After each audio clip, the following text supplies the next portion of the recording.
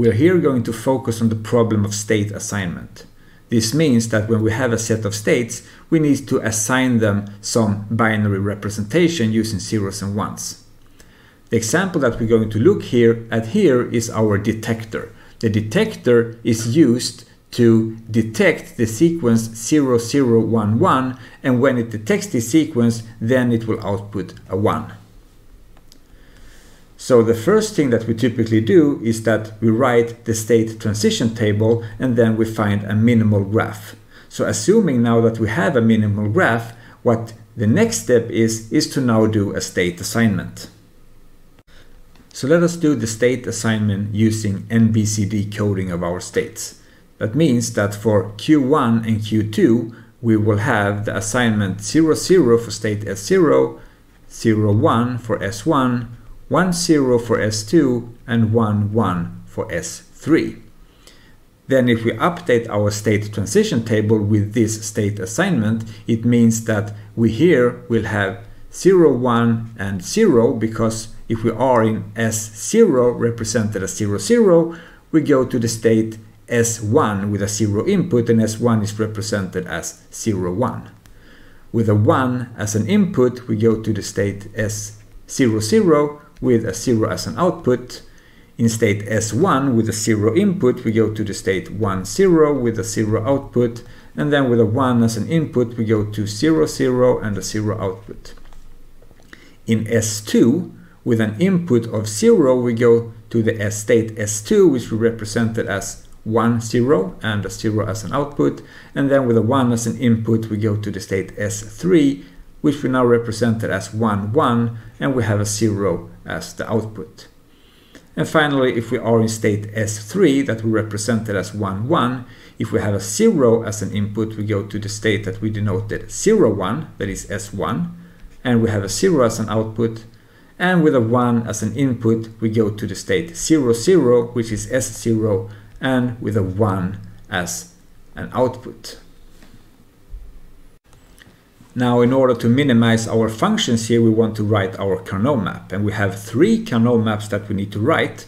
One for Q1 plus, so Q1 in the next state, one for Q2 plus and one for the output function that we here call U. And a good trick here is to write all these Karnaugh maps at the same time. And also to use Q1 and Q2 here on the rows. Because this means that we very easily can go from our state transition table to our Karnaugh maps. So in the first case here, if we have 0, 0 here, it means that we are in the state 0, 0, and with a 0 as an input, it means that we have this combination here. So what we will get is 0, 1, 0. So we fill in these at the same time. And if we have a 1 as an input instead and we are in state 0, 0, we have 0 for Q1 plus, 0 for Q2 plus, and 0 for U. So this is exactly these 0, 0 here written in the state transition table. And we can also immediately fill out the next row, which is 1, 0, 0, and then we have 0, 0, 0, and in the next step, we just have to remember that the 1, 1 here that we have corresponds to the 1, 1 here. So the Karnaugh maps will be 0, 1, 0, and 0, 0, 1. And then the 1, 0 here will correspond to the 1, 0 here. So we have 1, 0, 0, and then we have 1, 1, 0. And as you can see, this is a very efficient way of filling out our Karnaugh maps. The next step is to find our prime implicants and we have one prime implicant here and then we have one prime implicant here. For Q2 plus we have one prime implicant here, we have one here and we have one here. So we cannot make any bigger rectangular boxes than this in this Karnaugh map.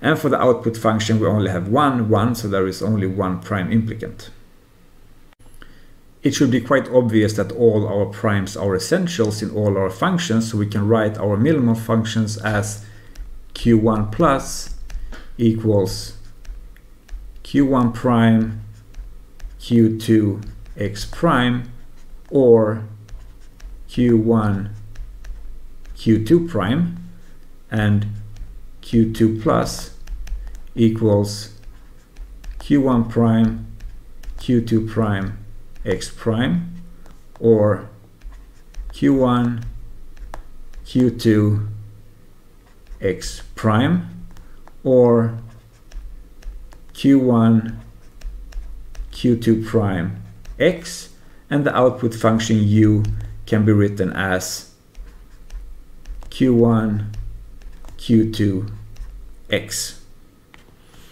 This gives us in total six implicants. So if we want to realize this function, we will need six AND gates, and five of them have to be of three inputs and one of them of two inputs. But according to our definition of minimal, the number of implicants is the most important here, and we have, as I said, six implicants. Now let us instead try another state assignment, and in this time we're going to use gray coding instead of our states. So S0 we're going to note by 0, 0 as before, S1, 0, 1, then S2 we're going to call 1, 1, and S3 we're going to call 1, 0. If we now fill out this state transition table here, we see that if we are in state 0 and we have an input 0, we go to S1, so we go to 0, 1 with a 0 as output. If we have a 1 as an input, we go to 0, 0 with a 0 as output. If we are in S1, if we have a 0 as input, we go to S2, and this we have now called 1, 1, and we have the output 0. And if we have an input 1, we go to the state S0 with the 0 output. And from S2 with a 0 as an input, we go to S2 again, so we go to 1, 1, with a 0 as output and then with a 1 as an input we go to 1 0 with a 0 as an output and for the final state S3 with a 0 as input we go to S1 which we have called 0 1 with a 0 as an output and then finally with a 1 as an input we go to S0 with a 1 as an output. And again we want to fill out the Karnaugh maps and as before, we write Q1 and Q2 here for the rows, and then we write X, the input, as our columns. And now, since we have gray coded our states here with S2 and S3 being 1, 1 and 1, 0 respectively, they will actually have the same order as what we have in the Karnaugh maps. Now, this is not the reason why we do gray coding here. The reason will be just to see that the number of implicants may differ. Uh, but we can note it when we fill out our Karnaugh maps because now we can just write it immediately by just basically copying our state transition table here to our Karnaugh maps in the following way.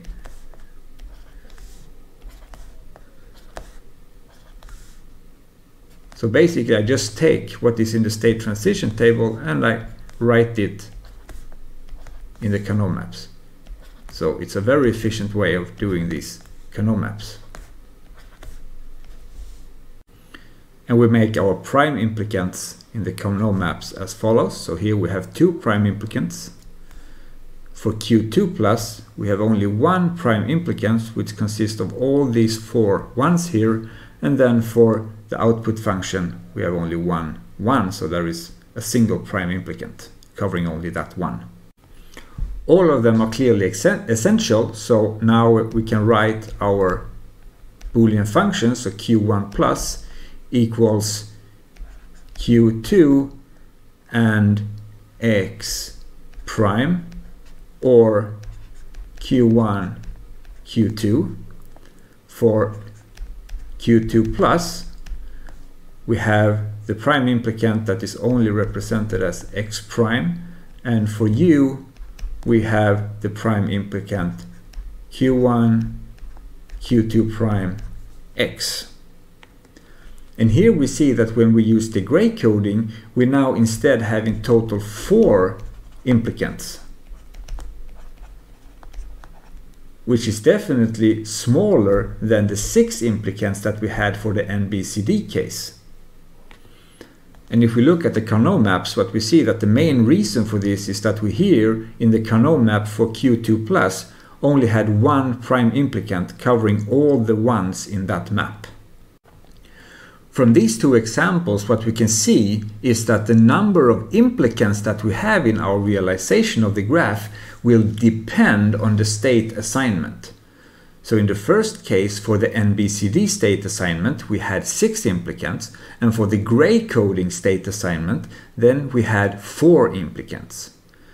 The problem is that in general there is no known methods for how to find the optimal state assignment. So instead we have to use heuristics in order to try to find a good state assignment but we can never know if it is optimal or not unless we try all the possible state assignments. And that we will not do. A good idea that we can use is to try to find a state assignment where very few variables change in each state transition. And if you remember from the gray coding, the whole point of gray coding is that we change as few variables as possible, namely one variable, each time we go to a new representation. However, it is important to remember that the gray coding should be in the context of the state transition graph.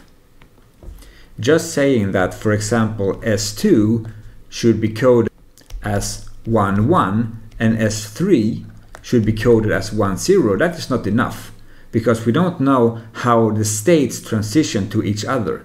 The gray coding should be such that when you transition to a new state, then we should change as few variables as possible.